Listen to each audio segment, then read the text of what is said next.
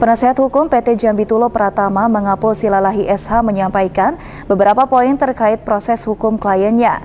Mengapul juga menegaskan bahwa PT Jambi Tulo Pratama didirikan berdasarkan peraturan perundang-undangan Republik Indonesia yang bergerak di bidang transportasi pengangkutan BBM yang memiliki sertifikat izin usaha.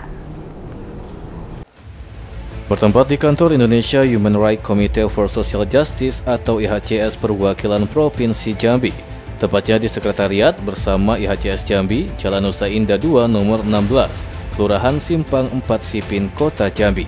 Penasihat Hukum PH PT Jambi Tulo Pratama mengapul silalahi. SH menyampaikan beberapa poin terkait proses hukum kliennya. Pertama, kaitan proses hukum yang saat ini terjadi pada dua kru kapal tugboat Leopard 2 akan segera dilimpahkan ke Pengadilan Negeri Jambi. Perkara yang sama juga atas dua orang masing-masing, satu marketing freelance dan satu orang supir PT Jambi Tulo Pratama juga akan segera dilimpahkan ke Pengadilan Negeri Jambi.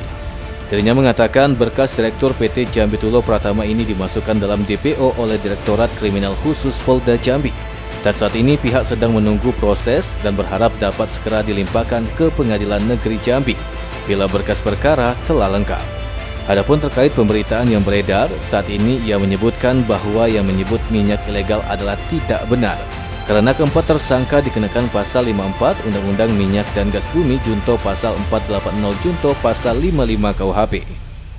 Tuduhan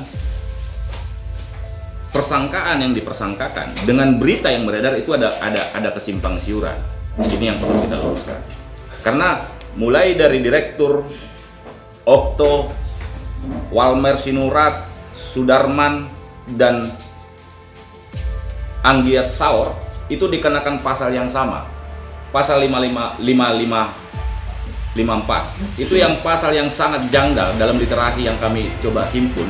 Itu pasal yang sangat janggal dikeluarkan. Biasanya 55 atau 53 ini kan berarti ada pasal ini mengatur soal palsu atau tidak gitu. Dan itu harus uji lab.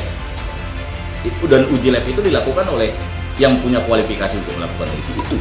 Bukan dari dinas perdagangan yang hanya dia mengukur kedalaman dan segala macam. Bukan seperti pernyataan uh, saksi saksi yang dalam persidangan mengatakan anda tahu saksi tahu dari mana itu palsu atau tidak? Dari warna katanya. Itu fakta di persidangan. Kita ucapkan apa pun fakta di persidangan menjadi pertimbangan hakim.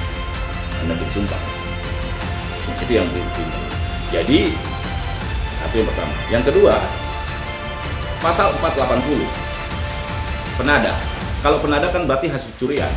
Siapa yang mencuri faktanya tanggal 28 ini tidak terjadi apa-apa belum ada peristiwa hukum tanggal 28 ini. Bukan tidak ada peristiwa hukum bukan tertangkap tangan atau bukan pengembangan sebuah kasus gitu akhirnya dikembangkan siapa bukan. Dan dari fakta di persidangan salah satu saksi menyatakan bahwa penyidik Polda Kepolisian Daerah Jambi itu pernah melakukan pendataan soal tata niaga migas, soal distribusi dan segala macam. Pendataan ya. Pendataan. Nah, itu yang yang jadi kita ini mau meluruskan bahwa PT Jambi Tulo ini sebagai perusahaan yang berdiri berdasarkan peraturan perundang-undangan Republik Indonesia.